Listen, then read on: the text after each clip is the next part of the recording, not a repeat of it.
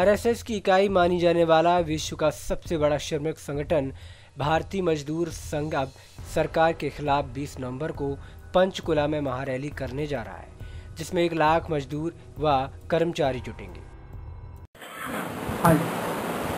जंग बहादुर यादव प्रदेश संगठन मंत्री भारतीय मजदूर संघ हरियाणा। भारतीय मजदूर संघ ने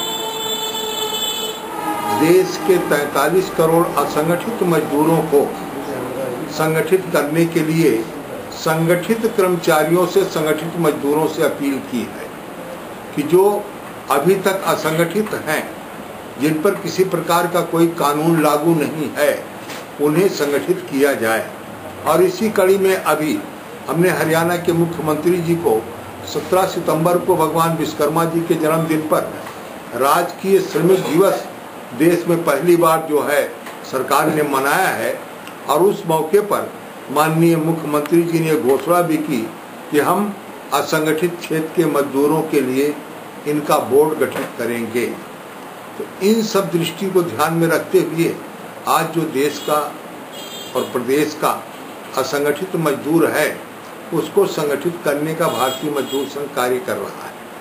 दूसरी तरफ़ जो ठेके पर कर्मचारी कार्य कर रहे हैं या डेली वेजिज के रूप में जो काम कर रहे हैं, ऐसे कर्मचारियों के लिए कई एक मांगे हमने सरकार के सामने रखा था। और कुछ को हमने करवाया भी, जैसे एनएचएम कर्मचारियों को हमने जो है प्राथमिकता के आधार पर उनको करवाया, या अपना कंप्यूटर ऑपरेटर्स को प्राथमिकता के आधार पर करवाया। अनुबंधित कर्मचारी जो बिजली बोर्ड के उन्नीस हज़ार हैं, उनको हमने प्राथमिकता के आधार पर करवाया।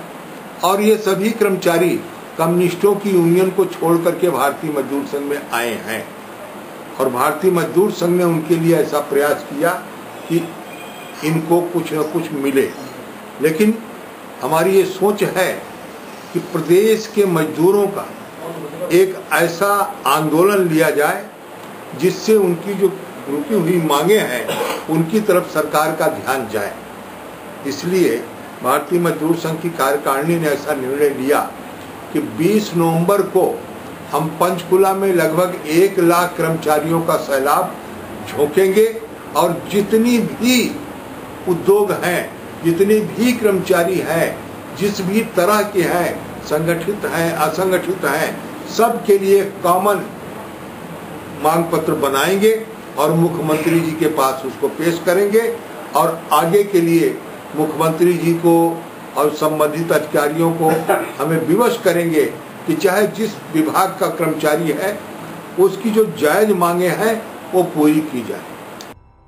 भारतीय मजदूर संघ महारैली में श्रमिक हित की अन्य मांगों के साथ साथ न्यूनतम वेतन अठारह हज़ार प्रतिमाह के लिए भी राज्य सरकार पर दबाव बनाएगा।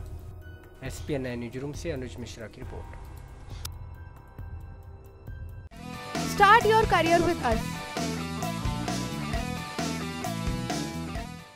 अगर आप भी बनना चाहते हैं एंकर और रिपोर्टर वीडियो एडिटर कैमरामैन या स्क्रिप्ट राइटर तो हमें संपर्क करें।